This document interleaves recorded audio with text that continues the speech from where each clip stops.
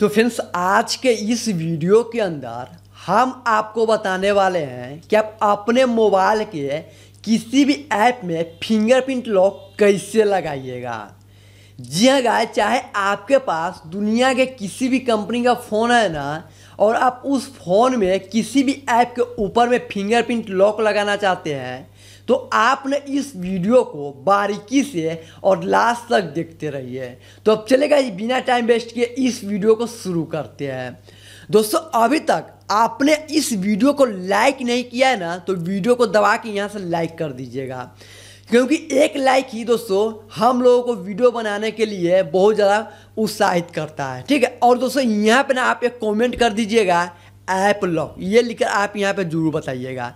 इतना करने का दोस्तों, आपको क्या करना है? जिस भी फ़ोन में ऐप को ऐप में लॉक लगाना है, वो भी फिंगरप्रिंट लॉक, उस मोबाइल में ना प्ले स्टोर को ओपन कर लेना है। प्ले स्टोर ओपन होने के बाद दोस्तों, आपको यहाँ पे ना सर्च करना है ऐप फिंगरप्रिंट लॉक। बहुत सारा एप्लीकेशन आ जाएगा। आपको इनमें से कोई एप्लीकेशन को इंस्टॉल नहीं करना, सिर्फ़ और सिर्फ़ ये एप्लीकेशन को इंस्टॉल करना है। क्योंकि इसी एप्लीकेशन की मदद से ना आप किसी भी ऐप के ऊपर में ना फिंगरप्रिंट लॉक लगा सकते हैं। ये जेनुअन एप्लीकेशन है, बिल्कुल यहाँ पे ना सिक्योर है। आपको क्या करना है, इस ऐप को इंस्टॉल करने ओपन करना है स्टार्ट नाउ वाले ऑप्शन पे क्लिक करके स्टार्ट नाउ करना है। देन उसके बाद, अब आप इस वीडियो को ना ध्यान से देखिएगा। देख, ठीक है? देखिए, सबसे पहले ना आपको बोला है ये पैटर्न लॉक है ना, ये आपको सेट करने के लिए। ठीक है? तो हम सबसे पहले यहाँ पे पेटर्न लॉक सेट कर लेते हैं। उसी लॉक को पेटर्न लॉक को यहाँ पे कंफर्म करते हैं। अब दोस्तों ये बोल रहा है कि जिस भी ऐप को लॉक करना चाहते हैं, उस पर टिक कर दीजिए। जैसे कि यहाँ पे ये पहले से चार ऐप को टिक लगाया हुआ है। हम यहाँ पे क्या करते हैं ना, इन ऐप को टिक लगाते हैं। ये ऐप सब हम लॉक करना चाहते हैं, ठीक है? देख सकते हैं यहाँ पे ये सब पे हम लॉक लगाना चाहते हैं। तो इन सभी पे हम टिक लगा रहे हैं, ठीक है? इस तरह से हम टिक लगा दिए। अब आपको क्या करना है? लॉक वाला जो ऑप्शन है, जिस पे आपको क्लिक करना है। लॉक वाले ऑप्शन पे क्लिक करते ही दोस्तों आपको बोला जा रहा है, ये दो परमिशन है ना, जिसको आप सबसे पहले अलाउ कर दीजिए।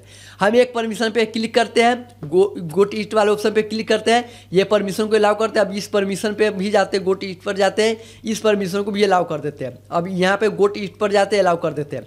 अब देखिए ये जितना सारा ऐप ना, ये सभी ऐप लॉक हो चुका है, ठीक है? अगर आप चाहे इनको अनलॉक करना चाहे तो अनलॉक भी कर सकते हैं, जैसे कि ये कैलकुलेटर अभी लॉक नहीं है। तो इस तरह से देखिए अगर आप यहाँ पे अमेजोन को लॉक करना चाहते हैं तो अमेजोन लॉक हो चुका है।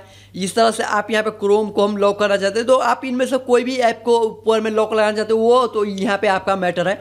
आप किस तरह से कौन कौन ऐप के कौन कौन ऐप को लॉक करना चाहते हैं, ठीक है?